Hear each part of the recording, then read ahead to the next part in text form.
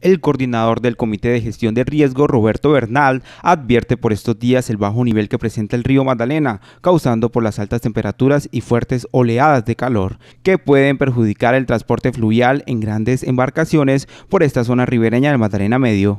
La temporada seca es un fenómeno natural inevitable.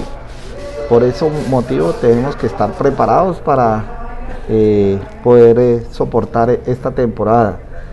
Eh, los fenómenos que están asociados a esta temporada seca tenemos los incendios de cobertura vegetal, que básicamente son causados por las altas temperaturas, eh, la disminución de las precipitaciones, las fuertes olas de calor y estos unidos con se convierten en nos pueden eh, presentar incendios de cobertura vegetal. Pescadores de la ciudad se sienten preocupados por la sequía que se está presentando y que ocasionan que las canoas no puedan movilizarse normalmente. Nos ha afectado porque el río sube todos los días, casi casi todos los días sube el río.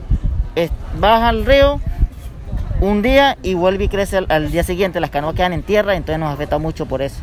El nivel del río se encuentra entre los 2.48 metros, lo que afecta directamente a las navegaciones de las embarcaciones que transportan combustible, carbón y otros elementos, situación que también preocupa a los empresarios que mueven mercancía de esta manera.